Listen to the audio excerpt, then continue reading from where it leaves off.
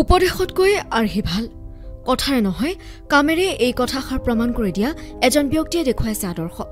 পৰিষ্কাৰ পৰিচ্ছন্নতা য'ত ঈশ্বৰে বাস কৰে ত'ত বৰ্তমান সময়ত পৰিষ্কাৰ পৰিচ্ছন্নতাৰ বাবে চৰকাৰে গ্ৰহণ কৰিছে বহু ব্যৱস্থা। তথাপিও স্বচ্ছতাৰ শ্লোগান এতিয়া বহু ক্ষেত্ৰত প্ৰশাসনত পৰিণত হোৱা পৰিলক্ষিত হৈছে। দল সংগঠন বা চৰকাৰী ব্যৱস্থাই কৰিব নোৱাৰা কিছু কাম কিছু ব্যতিক্ৰমী চিন্তা কৰা সাধাৰণ যেন লগা ব্যক্তিয়ে সুকলমে কৰে। যোৰহাটৰ পাখিমাৰী গাঁৱৰ নিবাসী দিব্যজ্যোতি দাসে চহৰখনৰ চৰকাৰী আৰু ৰাজহুৱা প্ৰতিষ্ঠান কাৰ্যালয়ত আজৰি সময়ত শ্ৰমদান কৰে। চহৰখনৰ বিভিন্ন ৰাজহুৱা বা চৰকাৰী কাৰ্যালয়ত শ্ৰমদান কৰি মানসিক প্ৰশান্তি লাভ কৰা ব্যক্তিজনে অনুসূচিত জাতি পৰিষদৰ কাৰ্যালয়ৰ চৌহদত বিনামূলীয়াকৈ শ্ৰমদান কৰে। বিভিন্ন চৰকাৰী বেচৰকাৰী কাৰ্যালয়ৰ চৌহদ চিকুণাই তেওঁ স্বচ্ছতাৰ দিশটো নিজাকৈ আগবঢ়াই নিয়াৰ এক প্ৰচেষ্টা হাতত লৈছে। তেওঁৰ লগতে অন্য লোকসকলেও নিজৰ ওচৰ পাজৰৰ পৰিৱেশটো পৰিষ্কাৰ কৰি ৰখাৰ চেষ্টা কৰাটোৱেই তেওঁৰ কামনা। এক সুস্থ স্বচ্ছ আৰু নিকা পৰিৱেশ কাম্য দিব্যজ্যোতি দাসৰ দৰে লোকসকলৰ।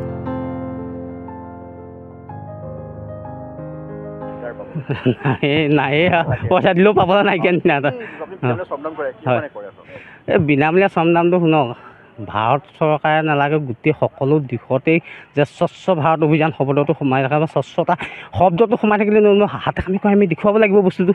স্বচ্ছতা স্বচ্ছতা যদি আমি পৰিচয়টো দেখুৱাওঁ যে এইখন আমাৰ যোৰহাট যে এইটো আমাৰ অফিচ সকলোৱে আন্তৰিকতাই ধৰিব লাগিব। গতিকে সেই বস্তুটো মই কিন্তু চাফা চিকুণটো খুবেই ভাল পাওঁ। আৰু চাফা চিকুণ থাকিলে স্বাস্থ্যৰ কথা আহি পৰে। সেই স্বাস্থ্যটোৰ লগত এই চাফা চিকুণতা বহুত সম্পৰ্ক আছে।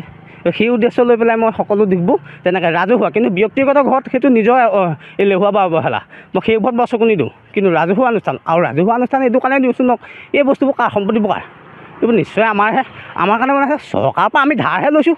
ধৰক আমি তেওঁলোকক সহায় বিচাৰিছোঁ যে আমাক এনেকুৱা এটা অনুষ্ঠান দিয়ক। আমি সেইখিনি আমাৰ এনেকুৱা এটা ৰাজহুৱা ৰাইজৰ খাতিৰত আপুনি এইটো হেৰি কৰি দিয়ক। দিয়াৰ কাৰণে দি দিয়ে তেওঁলোকে কিন্তু মেইনটেইনটো কোনে কৰিব? আমিয়ে কৰিব লাগিব। এইটো আমাৰ সম্পত্তি যেতিয়া আমিয়ে কৰিব লাগিব সেই উদ্দেশ্য লৈ পেলাই মই এই এইখিনি য'ত য'ত ধৰক মই তেনেকুৱা মানে অপৰিষ্কাৰ দেখোঁ সেইখিনিলৈ মই আগবাঢ়ি আহোঁ। যেতিয়া মোৰ সময় কাম বন যেতিয়া নাথাকে সময় থাকে তেতিয়া তাৰমানে। সৰু একদম তিনি হাজাৰ পাঁচশ টকা দৰমহাৰ চাকৰি এটা কৰোঁ আৰু কি ক'ব চাৰিজনীয়া পৰিয়াল এটা যেনে তেনে চলি আছোঁ। মোৰ নামটো দিব্যজ্যোতি দাস ঘৰ মোৰ পাখিমাৰী গাঁৱত যোৰহাটৰে। হয় খঙীয়া মোৰ জান এই চিন্তাটো মনলৈ আহিলোঁ মই আজি সৰুৰে পৰা মই বহুত আচলতে মনত পুহি আছিলোঁ কিন্তু মই প্ৰদৰ্শন কৰিব পৰা নাছিলোঁ।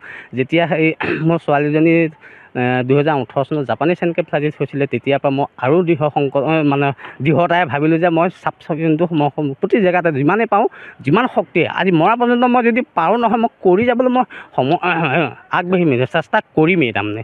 আৰু সেইটো কাৰণে মই আজি নিজৰ হওক বা আনৰে হওক চাফ চিকুণতাটো আচলতে সুন্দৰ বুলি ভাবোঁ। সেই উদ্দেশ্য লৈ পেলাই মই আজি নৱবৰ্ষৰ প্ৰাকখনতে প্ৰথম আৰম্ভণিৰ দিনাই সকলো ৰাইজলৈ এইটো উপহাৰ হিচাপে মই আগবঢ়াইছোঁ।